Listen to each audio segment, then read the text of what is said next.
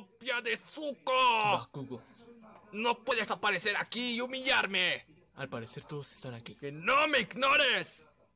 De cualquier forma, ¿qué haces aquí? Mi padre fue invitado, así que ah. solo vine a representarlo. Ah,